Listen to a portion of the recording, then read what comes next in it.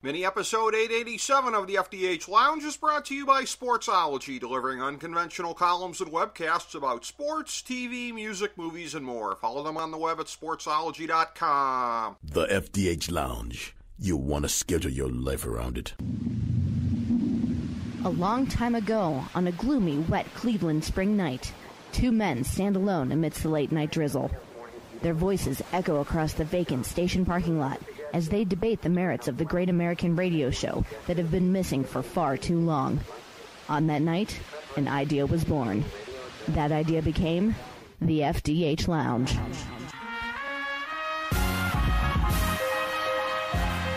Welcome to the FDH Lounge. Hello, everyone. Welcome to mini episode number 887 of the FDH Lounge. You have with us today FDH Lounge dignitaries Rick Morris and Steve Kallas. We are here to break down the 2017 MLB postseason.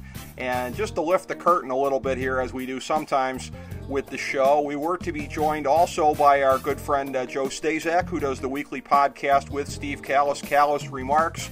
Joe unable to join us. He's a little bit uh, under the weather today. Hope he's feeling good. I know we both hope that's the case. Uh, although, as I said to Steve off air, probably for the best to do a one on one today, just with the circumstances being what they are. Again, just to lift the curtain up. Sometimes we record segments, have them in the can for a while. Sometimes we got to put them out right away.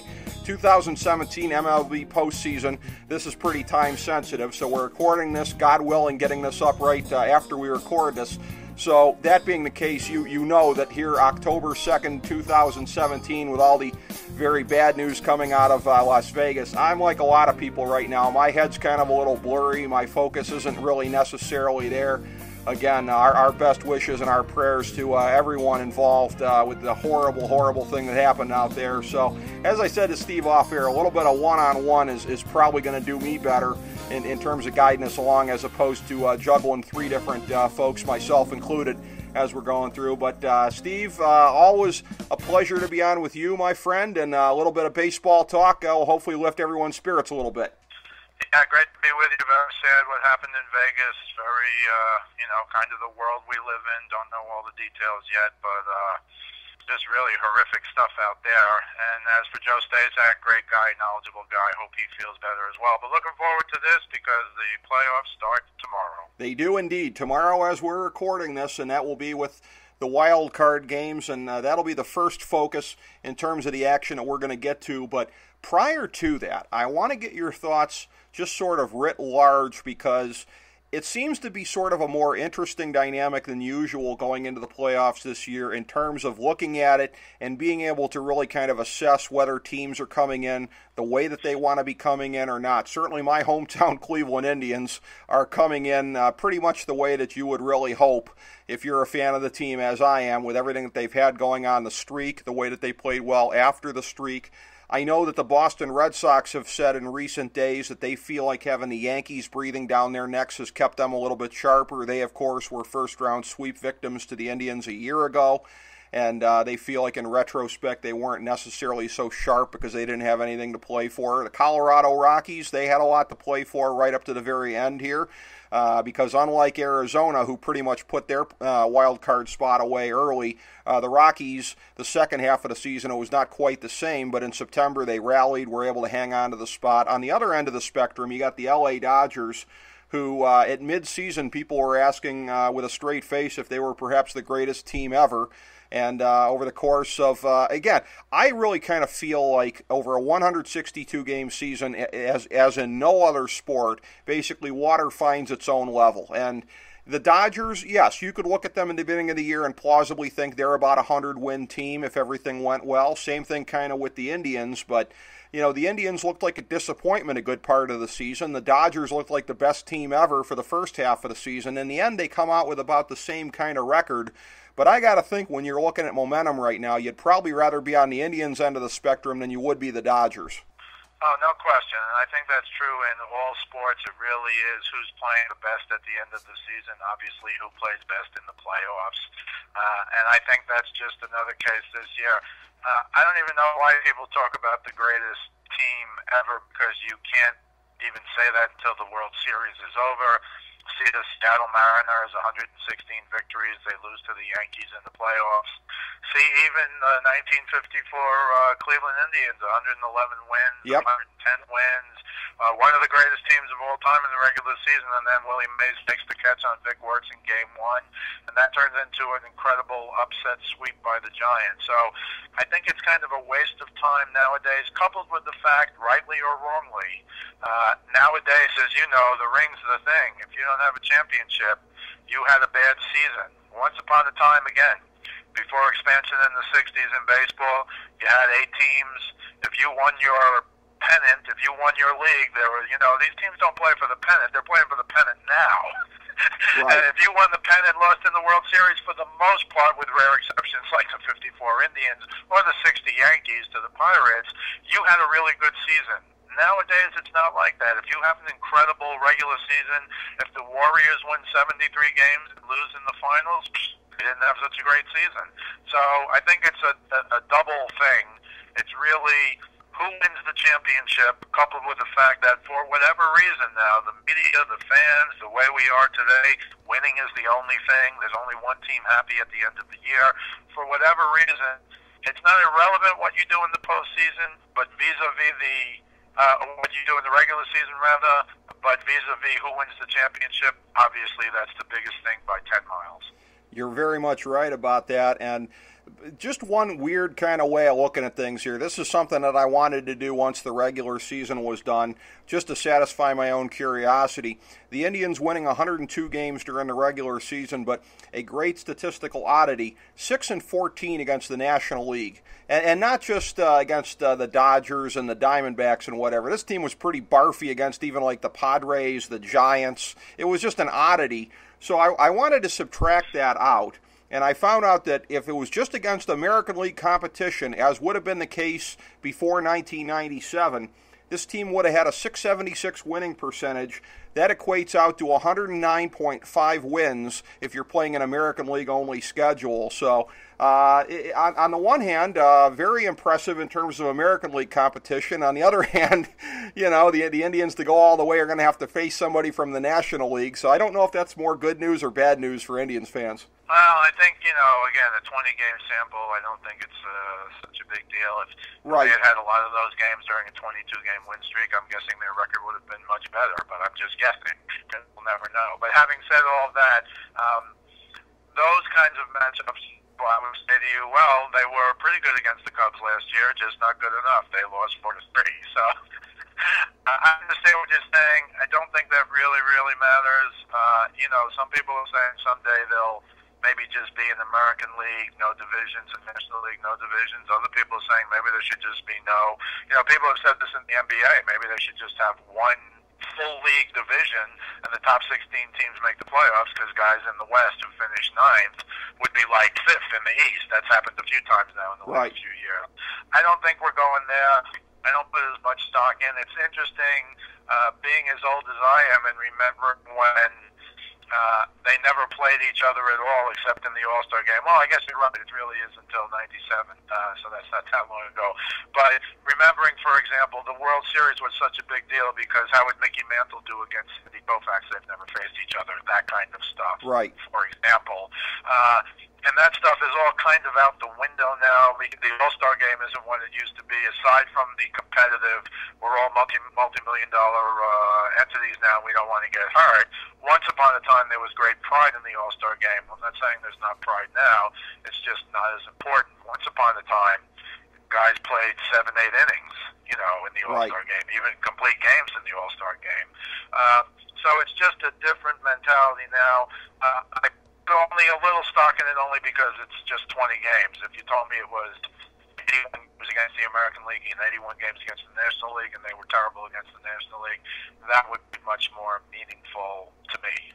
Right. And it's all about when the games are played, and you're right about that. And again, the strongest line of demarcation for the Indians whether it be before or afterwards, uh, was the trade for Jay Bruce because it was something like 35 and 9 or something like that. Uh, that's not an exact number, but that's off the top of my head after they got him. And of course, that encompasses the 22 game win streak. But I was there for somewhat of an earlier line of demarcation. It was a Saturday night game, Jason Kipnis bobblehead night. I got to give uh, credit to FDH Lounge dignitary Tom Denk for uh, getting me a ticket to the game there with him. And uh, that it was uh, Jason Kipnis bobblehead night. Uh, Lindor won the game with a walk off, and for a guy who was getting a lot of MVP talk late in the year, we kind of tend to forget what a donut hole kind of a year it was because the middle of the year was really not so great. Even some of the first half of the year was really kind of a fall off. Lindor was really uh, en fuego over the course of uh, the last several weeks of the season, two months plus. But uh, it's been uh, a very, very interesting ride throughout the season. No more so, I would say, than in terms of the wild card teams that are going to be playing in the games this week here, because in the American League, you got two teams that I think most people would say are probably ahead of schedule as far as what was expected of them, and I would argue that the representative from the AL Central, uh, quite frankly, not even necessarily that. Uh, uh, a representative, but uh, the best of kind of a mediocre lot, I would say. In the National League West, uh, strong division, albeit top heavy uh, with the three teams versus the two teams there. Arizona, as I mentioned earlier, had uh, a much stronger ride all the way through than did Colorado. But looking at the two games there, first up, the American League game, uh, a lot of people are thinking that it's kind of a uh, foregone conclusion. The Yankees have played very well against the Twins in recent years, not least of which the times they've caught them in the playoffs. You got Severino going for the Yankees. Uh, the Twins, again, young pitching has been the kind of donut hole for them to go back to that term in terms of their young development.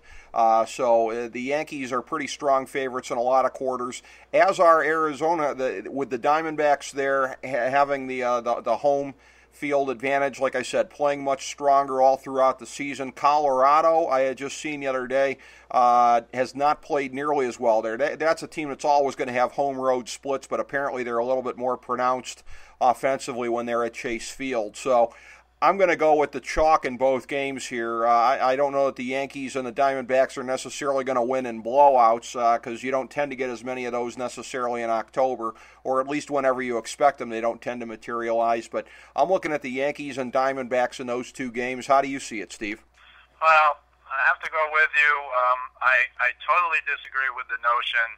Um, and and it's the feeling in New York. Well, you know, the Yankees are going to be heavily favored. They got Severino going. Blah, blah, blah, blah, It's baseball, and it's only one game. So the Phillies could be in one of these wild card games, as far as I'm concerned, and have a chance to win because it's baseball.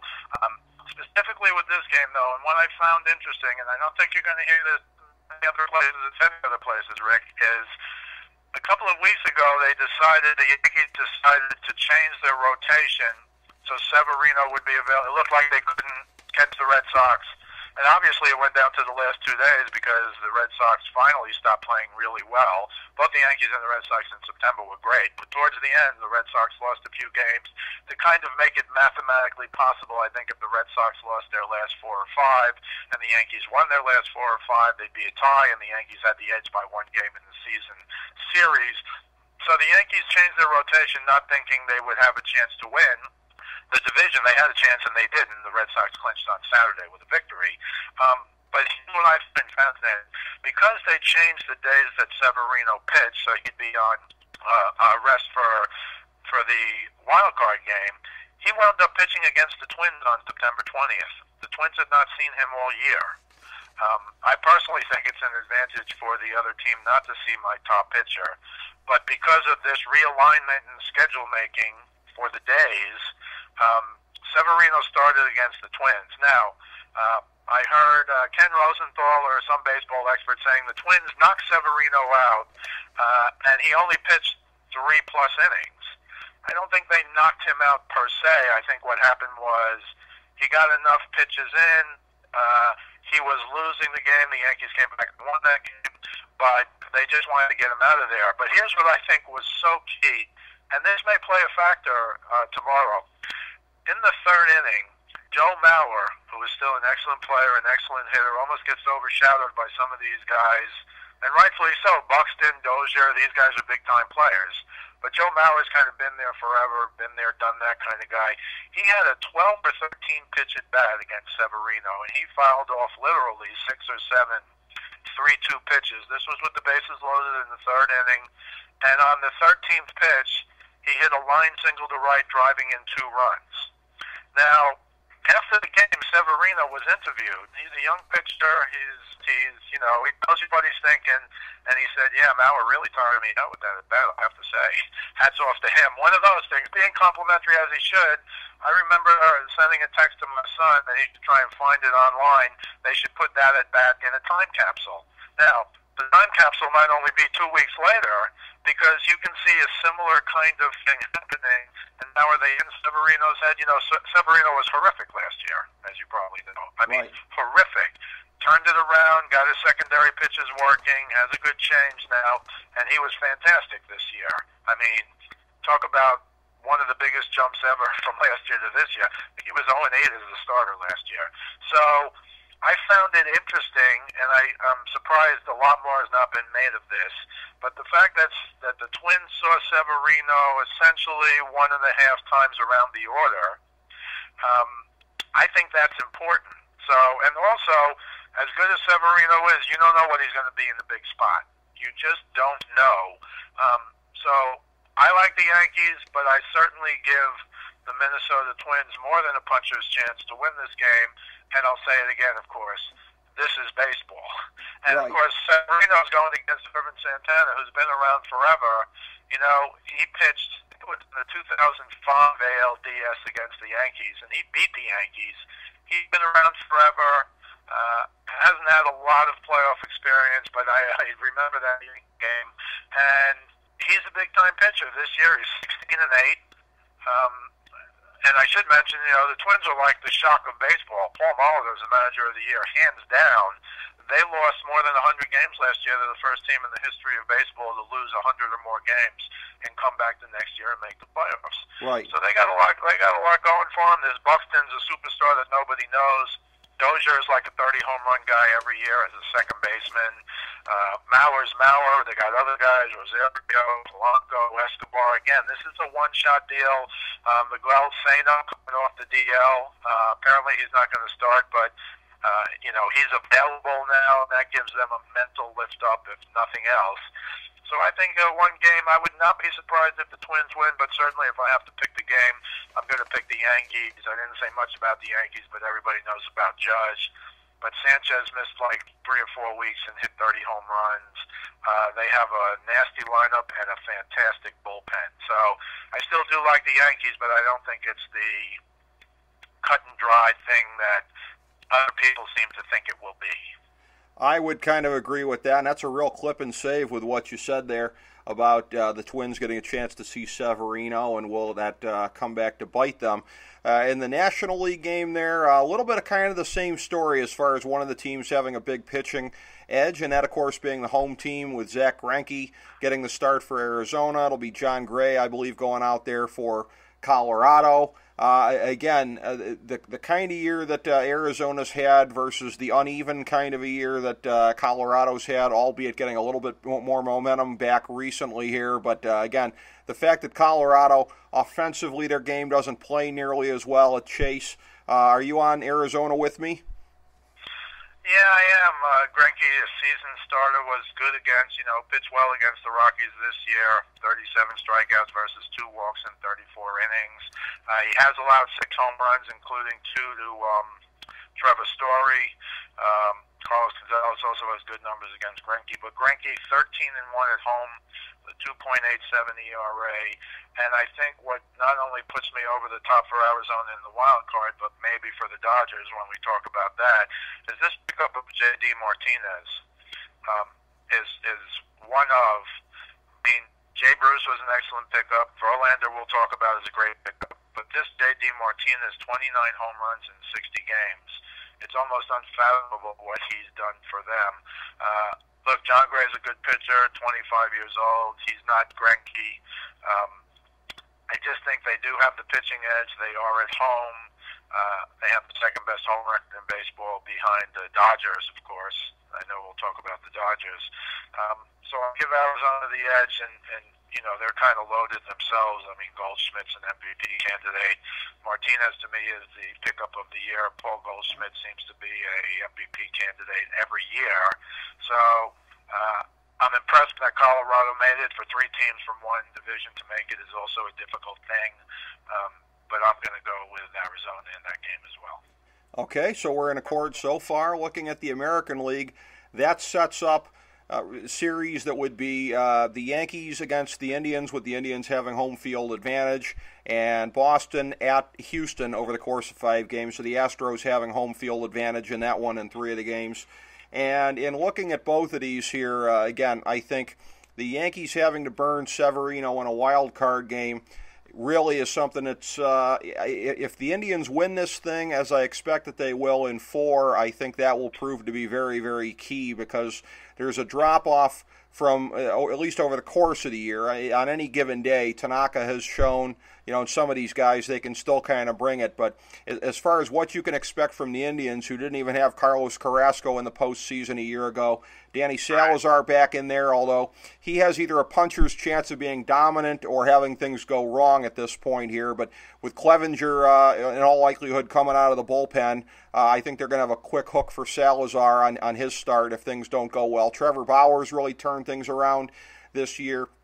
You got the depth of the Indians' offense that they've had up and down the line here now, with potentially getting both Chisenhall and Brantley back as they have played in the last week here. Uh, it, it seems a lot to expect the Yankees to be able to stop the Indians' roll at this point. Well, I agree with that, and I'm basing that as much on hitting as the pitching because, and you probably know this, the Indians have for the first time since 1956, three guys with more than 16 wins. Of course, Kluber 18 and 4, the 2.25 ERA, uh, 2.25 ERA, and most impressively to me, a 0.86 WHIP. I mean, that's like unheard of for a starting pitcher for yep. an entire season. Uh, he's he's going to beat Sale for the uh, Cy Young. If he doesn't, that's a real joke. We're going to send a letter. But Carrasco 18 and 6 with a 3.29, and Bauer 17 and 9. So Indians haven't had that since decades ago, 61 years ago, um, and I think that gives them the edge. As for the Yankees. Look, Severino has been great, but as you said, he's if they win, he's gonna not. I guess he can pitch game three, but CC Sabathia has has reinvented himself, and he's a nice junk ball pitcher. Uh, but they usually don't have that much success in the playoffs, as as you know. Um, Tanaka.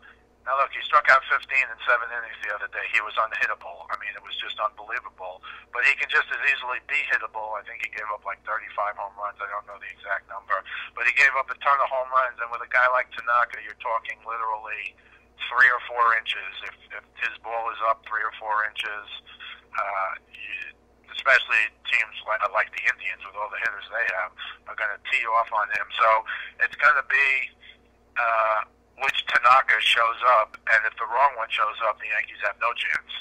So I don't think they're good enough pitch wise.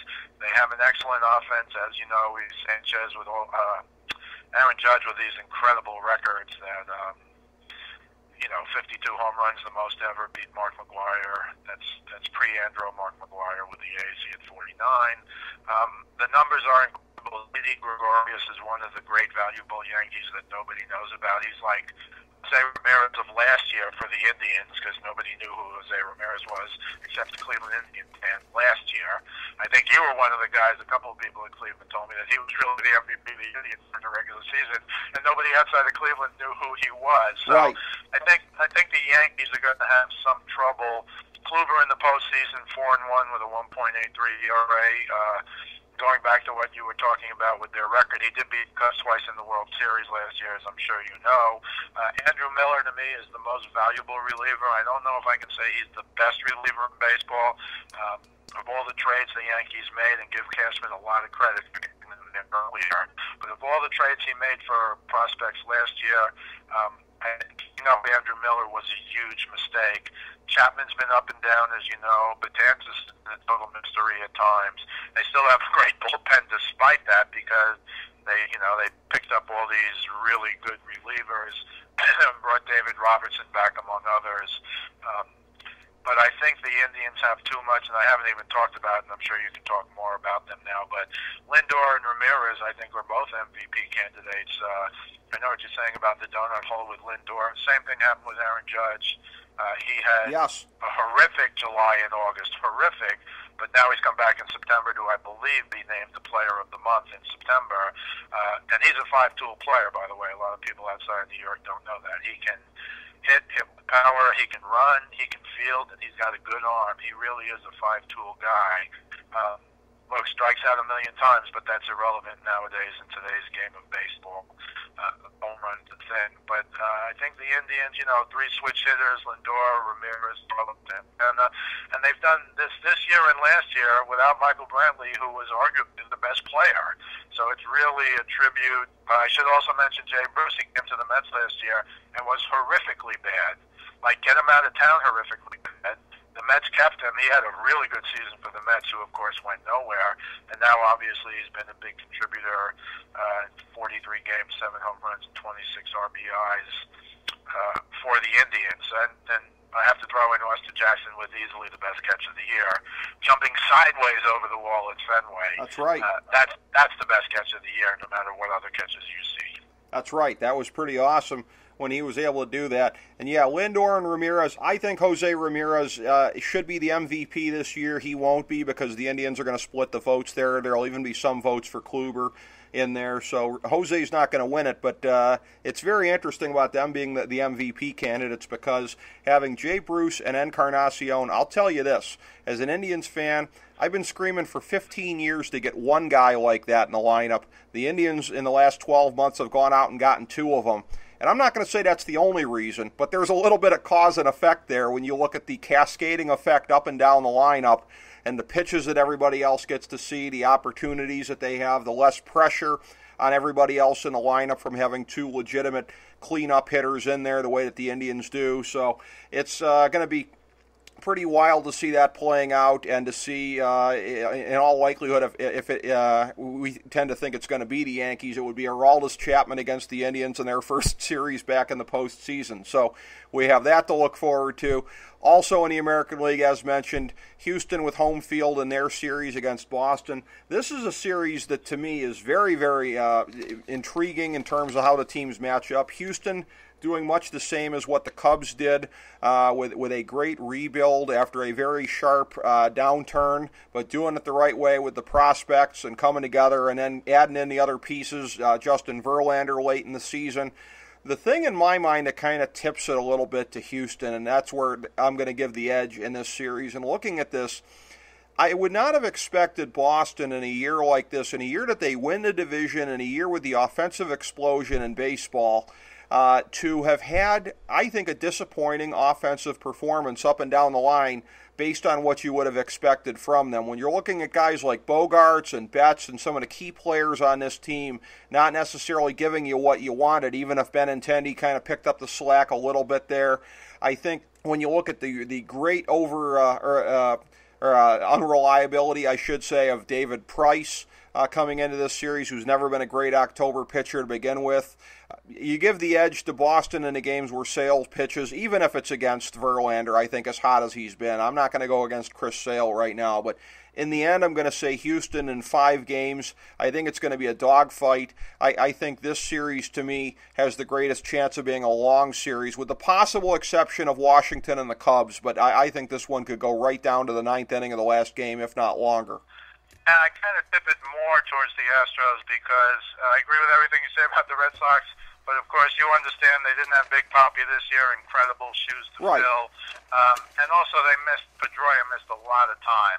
And I think to take those two guys essentially out of the lineup, Pedroia to me seemed to be I don't know hurt on and off virtually the whole year. He only played 105 games. Uh, you know, hit 293, but was not Pedroia. Uh, I think they've got real good young talent. There's Devers and Benintendi. I mean, they're really good young players. Um, but here's my problem with Sale. He's never histor- He's never pitched in the postseason. Right. Um, and I don't say it's going to be too big for him. You never know until they do it, and I don't think it will be. But historically, he's been very poor in August and September, and seems to tire uh, as the year goes on. He gave up nine home runs in September this year, which is just unfathomable for Chris Sale, and I think uh, I think that's a big problem. So while I agree with you, he's probably they're probably the favorites when he pitches. I don't think they're the heavy favorites um, because I just think he's not going to be, frankly, what he was. I mean, I think he gave up.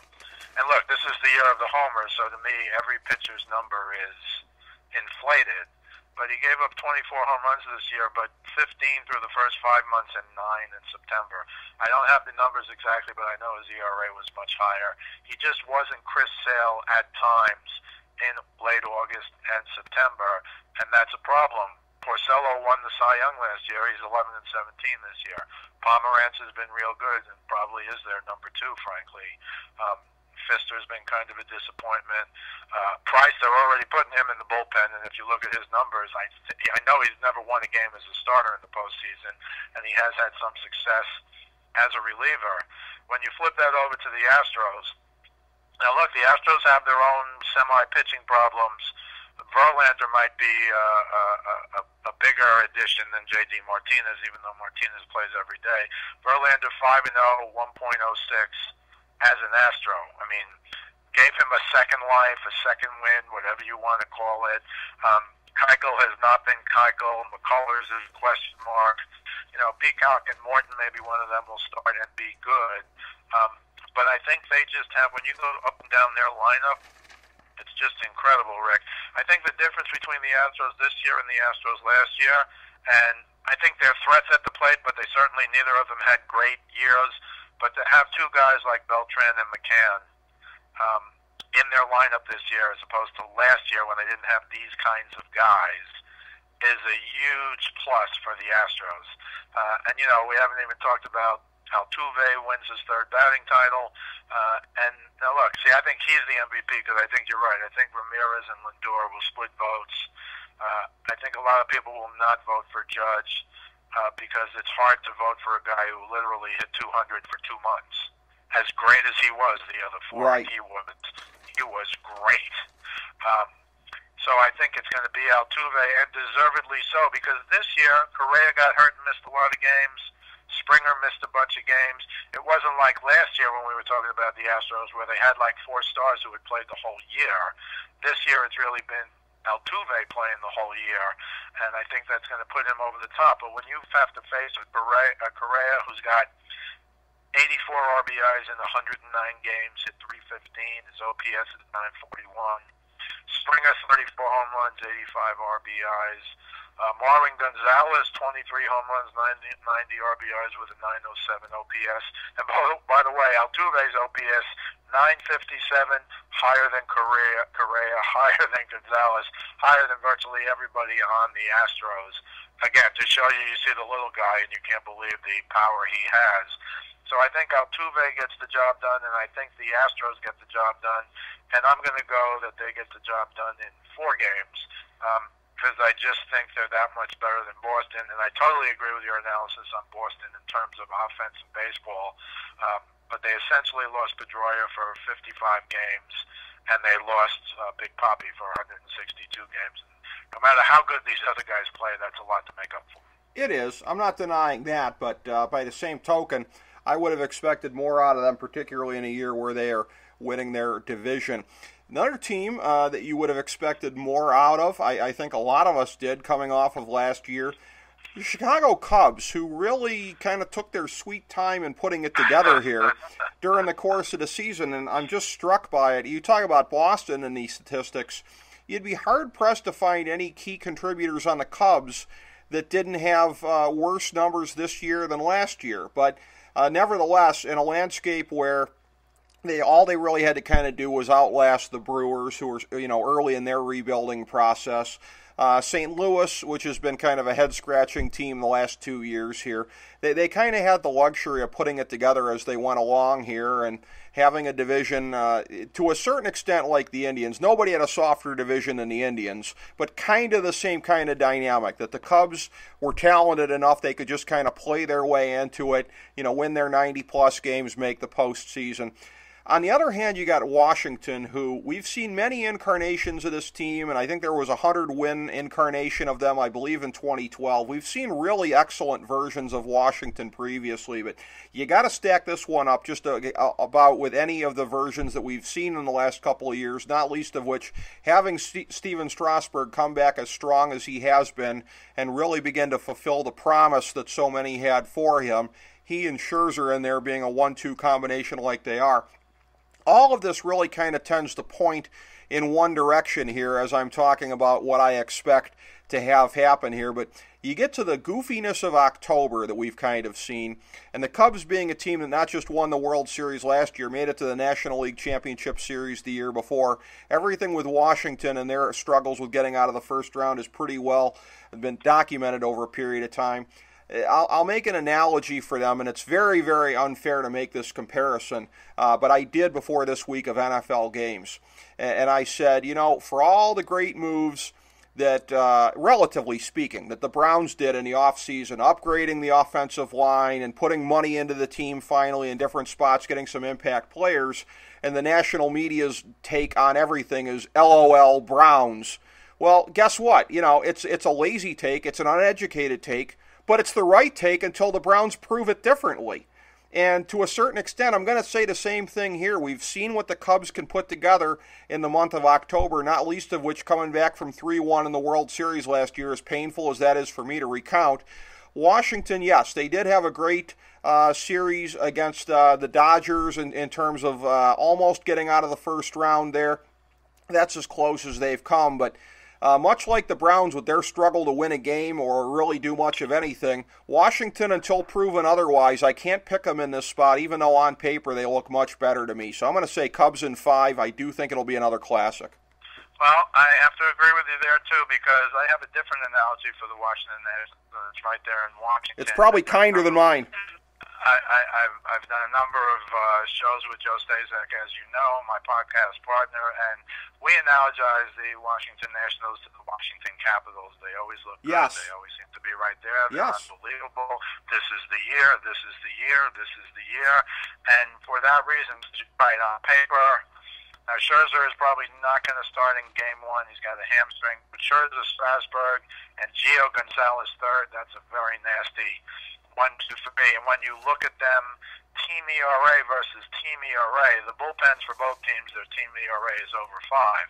But for the starters, the Nationals team ERA is 3.40 for their starters the year, and the Cubs starters ERA is 5.08, which is kind of amazing.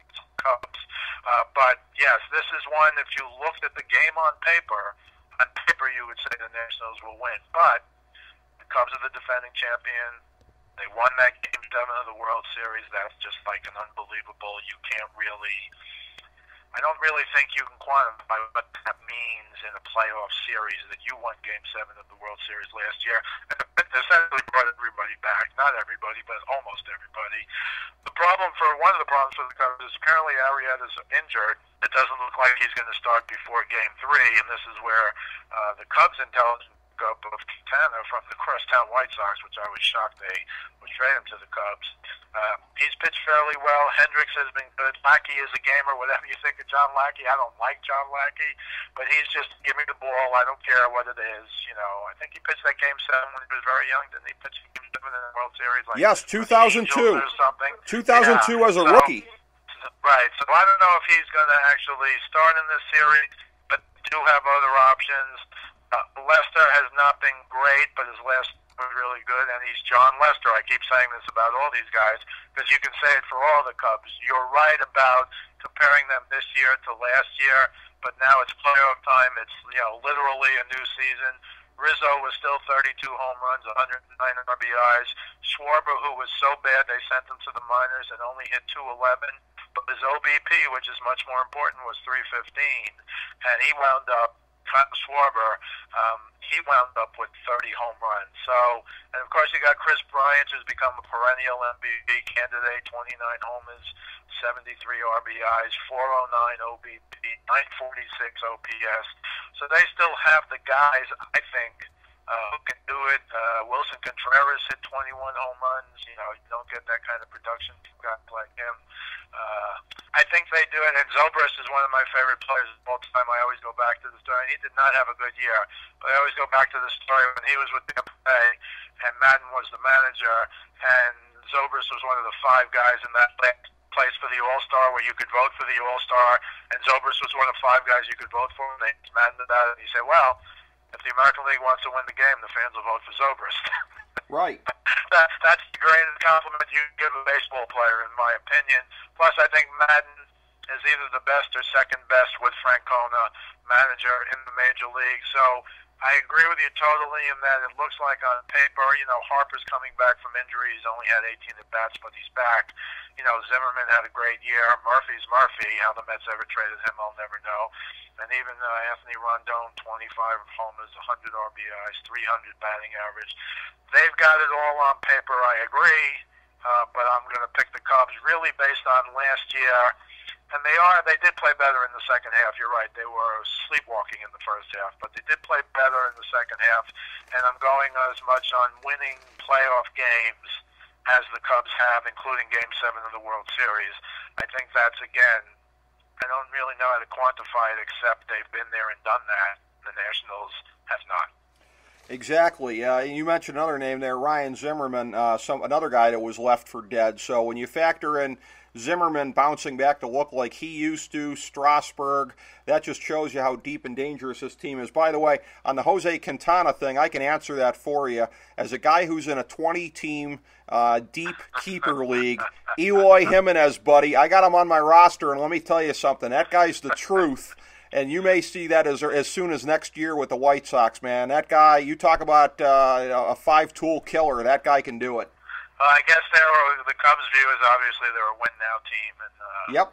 Um, so they had to give to get. You know, that's how it works. Pretty much, yeah. matter of fact, I mean, I would say too. You know, I, I, I almost think you hold out for even a better pitcher than Quintana, but uh, I guess it was kind of a uh, seller's market at that point in time, and that's what they had to do to get him. Uh, but uh, yeah, in a pure baseball sense, I think that might be the most fun series to watch. I'm really looking forward to that one. Then we come to uh, what's going to be, no matter what happens, the battle of the National League West. Because whether whether we're right, if it's Arizona or if it's Colorado, either way, they're playing the Dodgers with home field. And uh, this is one you kind of hinted at something before.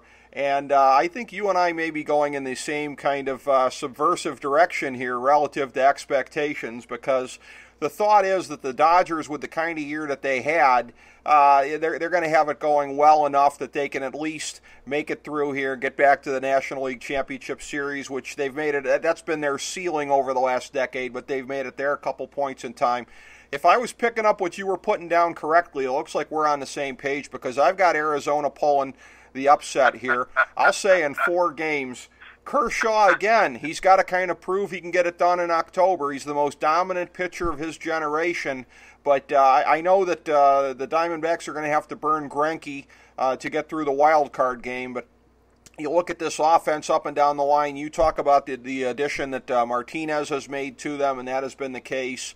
Uh, Lamb has been a guy who has very quietly kind of developed into a, a, centerpiece of that lineup as well. Paul Goldschmidt, this is going to be his coming out party, I think, on the national stage something that he, uh, the modern day Paul Bunyan, has kind of been deprived of. Really, the, the, the same year that uh, Aaron Judge makes the postseason. So, uh, two kind of guys like that, although I think Aaron Judge uh, can only dream of uh, Goldschmidt's ability to make contact, and that, that's somebody who I think should be a role model of his for his game going forward. But uh, Goldschmidt solidified as one of the best players in the game for years. And uh, again, I think he could be a real difference maker in this series. That's not going out on a very big limb because he's a perennial MVP candidate. The Dodgers bring a lot to bear, including their own young slugger, Cody Bellinger, with the kind of year that he's had. Uh, Corey Seager, I think, is one of the best young players in the game uh, in the making, a guy who's going to be a perennial MVP candidate. But here and now, I'm going to go with Arizona. I think uh, clearly they've been hotter than LA recently. Uh, most teams have been hotter than them recently because of the huge downturn that they've had. I don't think the Dodgers are going to be able to flip the switch, and uh, I think it's going to be kind of unfair to Dave Roberts if he ends up taking some heat over this because there's going to be the sense that the Dodgers are just back where they were prior to when he got there. I think Dave Roberts has done a better job than Mattingly did of getting more out of this team, but I think the results are going to be the same. I'll say Arizona in four. Yeah, I think it, I, I I'm I think that's totally right. I say Arizona in five because I think Robbie Ray is going to have two games. Robbie Ray is like the best pitcher that nobody knows about. 15 and five this year, 2.89 ERA. Now the one thing against our analysis, because I'm picking Arizona as well, is the Dodgers, who have traditionally been terrible against left-handed pitching, they've been pretty good against lefties this year. But Robbie Ray has been unbelievable.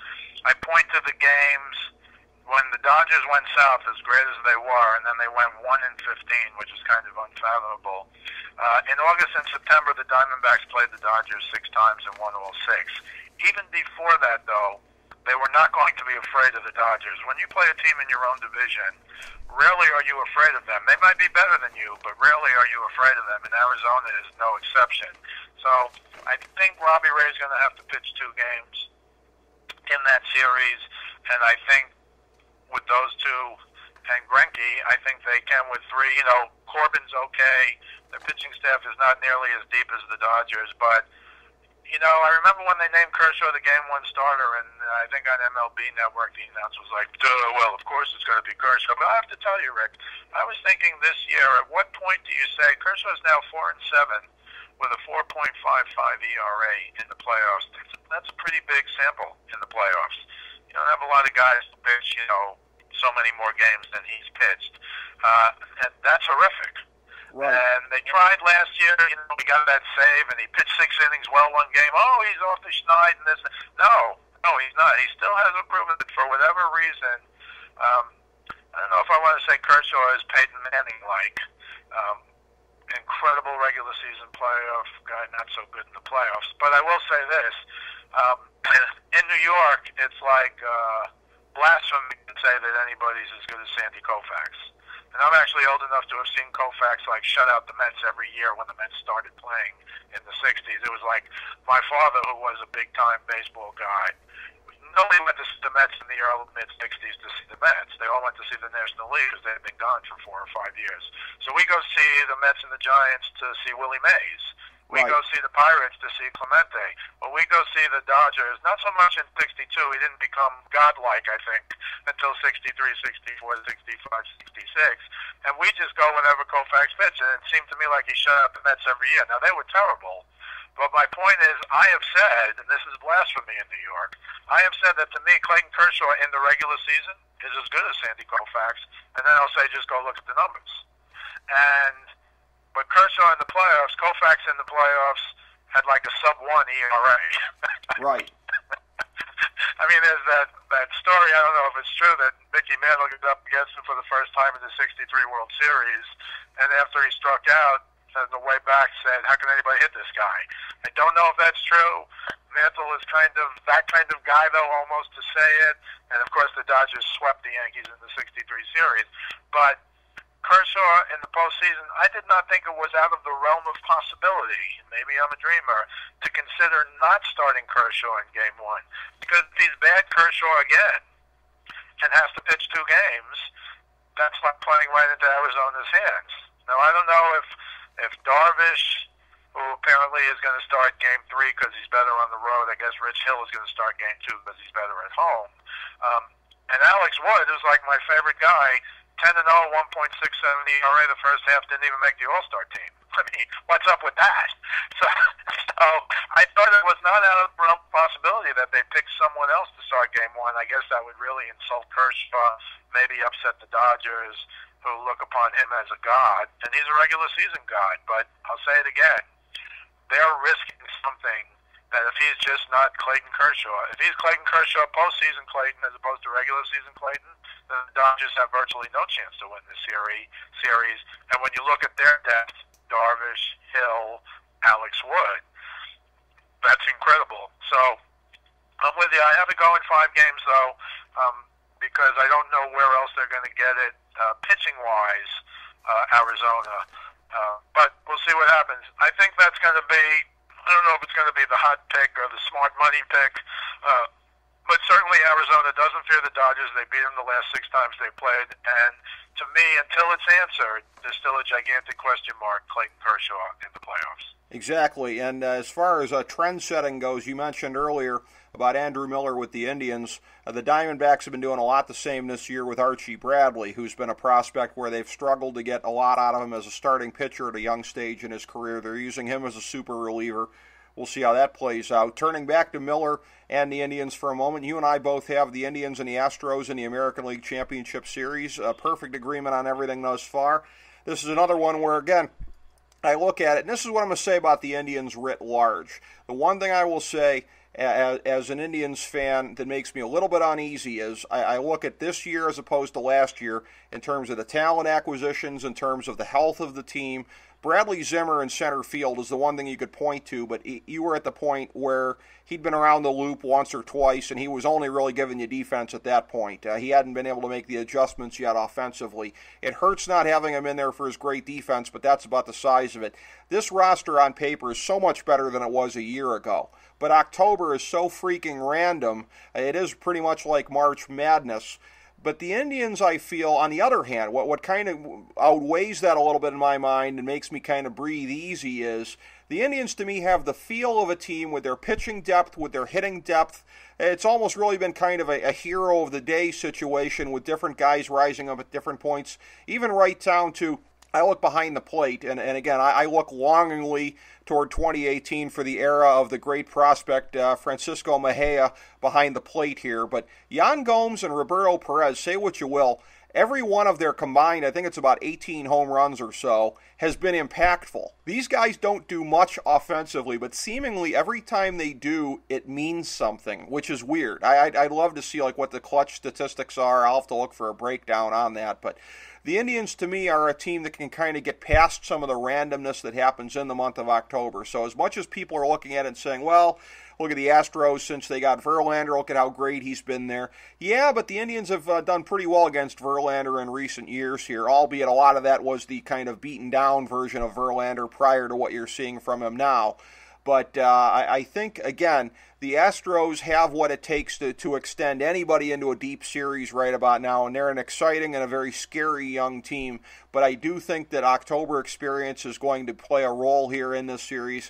I will say Indians in six nail biting, thrilling games. Yeah, I'm going to go with the Indians as well. I mean, again, I picked Indians over the Cubs, frankly, before the year started, and I don't see a reason. I, I, I could make some arguments, but I don't see a reason to go off that. And I don't think you can really, if you can get back there, again, you can't duplicate. Like I say, for example, the Astros. A big difference in the Astros this year is they have a Carlos Beltran. Um, they have a Brian McCann. That's a big difference between them last year and them this year. Uh, they've added a Justin Verlander. So again, on paper, you would going, what were they missing? Because their stars played the whole year last year. Springer was unbelievable all year. Correa was unbelievable. Yep. Altuve was Altuve. Not the case this year. Um, but again, I and, and it's hard to get back. I think they're both going to get back, the Cubs and the Indians. I think the Indians have enough. On your interesting uh, catcher, uh, Roberto Perez and Yan Gomes, um, you know, you're totally right. Combined, they were 22 home runs and 94 RBIs, and that's a heck of a major league catcher in today's world. Uh, so you're totally right about that as well. I just think uh, the Indians are incredibly deep is literally uh, who's going to be the starter today? Raise your hand. Oh, we got five guys today who can be it. Okay. Uh, Jake was a big addition. Again, if you saw him play for the Mets this year versus last year, and of course he's played pretty well for the Indians as well. But he's a good hitter. You'll recall last year when the Mets got him. I think he was leading. I think he was second in homers and leading the National League in RBIs when the Mets got him. And this was going to put the Mets over the top, and he was terrific. But as often happens when it comes to New York, you know, it takes some time. Didi Gregorius the same way with the Yankees. Now Gregorius is an All Star, and Bruce was was great for the Mets. He's been really good for Cleveland, and again, he's one of you tell me six seven guys. There's so many guys on the Indians, so I like the Indians. Go seven games on the Indians over the Astros because I do respect and think the Astros are that good. They are an excellent, excellent young team, and uh, they are the future, no question about it. You go to the National League, you and I both have it being Diamondbacks v. Cubs. My gut wants me to go one round more and to say uh, Arizona. My, my, my gut is pushing me in that direction. My preseason pick, by the way, was Indians over Cubs, so I'm going to stick with those teams making the World Series. In the end, one of the things that, really troubles me about picking Arizona, I think it may not hurt them against the Dodgers. I think it may hurt them subsequently here. Is that uh, the the depth that the Cubs have, and we all know what Joe Maddon can do with every one of the hitters on his roster. Arizona's not playing with a full deck as far as that goes. David Peralta is out. Chris Owings is out. Uh, Yasmany Tomas, who when healthy can be uh, something of a difference maker, is out. Uh, there's three key guys right there. Joe Maddon always seems to get the most out of everybody that he's got, including his bench guys, his super utility guys uh, like Zobrist or anybody else. I think the ability for uh, Maddon to be able to play mix and match a lot more than what Arizona's going to do is going to be decisive. I'll have that one going seven, and I think it'll be very exciting. But I'll take the Cubs to make it back to the World Series in their third consecutive NLCS appearance. Yeah, I wish we had Joe Staszak on because I am just guessing that he would have had something different. We're essentially on the same page, you know, throughout the playoffs. But again, I, I think I don't think that's because I picked as you Indians over Cubs before the year started. But certainly, if there's a dead if there's a dead heat in my analysis, and there have been a few, that's going to tip me to pick the uh, the Indians and the Cubs. And again, I think those are the two best managers in baseball. And people say, "Oh, the manager doesn't really matter in baseball." That's you know that's just ignorance. If you hear somebody say that, and a lot of people do say that, they just don't know baseball. So I think. Uh, the Cubs have enough. I do like the Diamondbacks, um, but I'm going to pick the Cubs, and I'll pick them to go in seven as well. Uh, I just think they're in the clutch going to be a better team, and and I totally agree with what you said about Joe Maddon. He gets the most out, of everybody, and I'll even say uh, Ben Zobrist when they turn the bright lights on. You know, he won the World Series in 2015 with the Royals. He won the World Series in 2016 with the Cubs. And as Joe Maddon said many years ago, this is the guy you want on your team if you want to win the game. Uh, and I think he's going to be. And I also wanted to mention on the Cubs, which I should have mentioned before, um, probably the trade of the year. I think the trade of the year for the uh, in baseball was Wade Davis from the Royals to Jorge Soler of the Cubs, and Soler looked like a really good player last year. Uh, but Wade Davis solidified their bullpen, 32 saves. Uh, meanwhile, the Royals would have made the playoffs easily if they had Wade Davis. Soler wound up in the minor leagues, up and down, and hit like 180 last year. He still might be good in the future, but I think that was, and that was a one for one deal. I think that was like the steal of the year, and that really has made the Cubs. Uh, really look better, frankly, on the back end. So we'll have to see what happens. But yes, um, I have the Cubs winning the National League, the Indians winning the American League. I have the Indians uh, winning the World Series. And that was just something after watching both teams last year and seeing, frankly, how young they are and what stars they have coming. And you're right, with the Cubs, they disappointed a little, but I think they're back on track now. And again, I think they'll all look at it as a new season now and take advantage. And they certainly have the talent to take advantage and be really good in the playoffs. Yeah, I, I agree with where you're coming from on all of that. And uh, again, the, the, Cubs there with trading Soler, much like what they did with uh, Eloy Jimenez, of where again you're you're playing to win it now. You have the young players, you can get the assets to make you better. They certainly needed to get Wade Davis in there when they let uh, Chapman get away, which I think was pretty much their plan all along. But you look at it, and uh, again, I go the same way in terms of looking at the World Series because as close as it was last year, the Cubs just for whatever reason have kind of struggled this year. Again, part of it is too the Cubs were on uh, an unbelievable mission in 2016, and you can't replicate that when when you've broken the 108 year curse. The Indians are the hungry team of the two, no question about it. Cleveland is now the franchise that's gone the longest in MLB without this happening. Now, I said last year, I said we don't tend to get this in baseball You don't tend to get the same two teams back in there. And I said, if not next year, then at some point in the next couple of years, I think it'll happen again. Because you look at the repeat pennant winners of recent years San Francisco, Texas, Kansas City.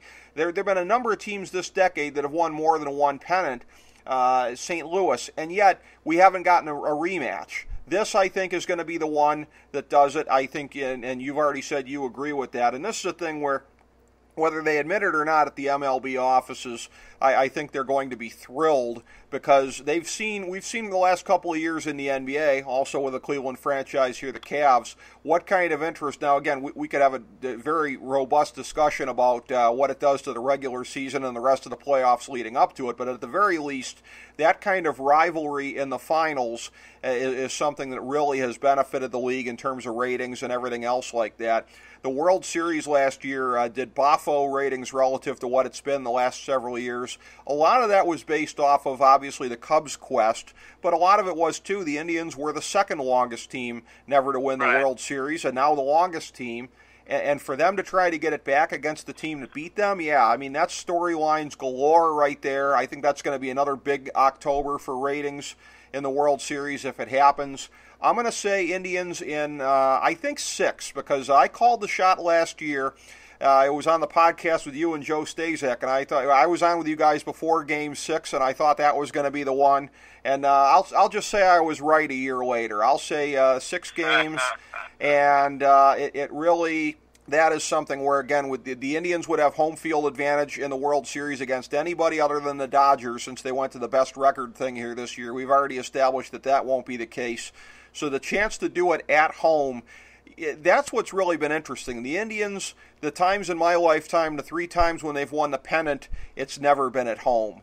Uh, it's uh, the, the Cavs won the NBA championship on the road. They have won uh, the Eastern Conference championship here, uh, and the first time they did it, it was pretty special. It was a pretty big deal, but nothing on the stage of winning a world championship here. I've gone back to as somebody who watched uh, Stipe uh, defend the UFC World Heavyweight Championship last fall here the the roar at the Q when that happened, I'm telling you, the 20,000 people cheering on the hometown guy, the heavyweight champion of the world. I said at the time, it couldn't have been any louder if the Cavs won the NBA championship. Well, I think again it'll be a crowd about twice the size because it'll be outside, and you know Stipe's going to be in the crowd because he represents for this team everywhere. I, I loved him going to Wrigley Field and representing in the World Series last year, but uh, I think it'll be a Stipe title defense type roar at the end of Game Six here. Uh, I have the Indians uh, completing the mission and getting it done this year.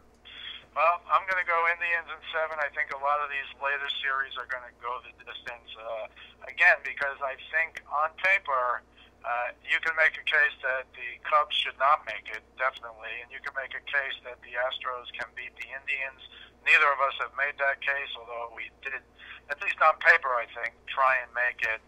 Think are the first trying to become the first national team since the Big Red Machine in the 70s, 75, 76, I think, um, to win back-to-back pennants. Obviously, it's happened in the American League, but I don't think it's happened in the National League since the mid-70s. And although that's, you know, well, who cares? What does that really mean? Uh, to me, that means something. But I just think the Indians it's their time, and I totally agree with you. I think the uh, analysis that I may steal from you uh, is yes, what the Cubs did last year, 1908. Uh, everybody was, most people were pulling for them. I think that will switch to the Indians this year, uh, 1948, uh, and they're the longest tenured now people to have not team to have not won a world championship. So I think that flips it a little. But again, both of these teams are are well experienced. Obviously, they played the seven game World Series last year, and I put a lot of stock in that. Obviously, the Indians could have won last year, and I think they will win this year.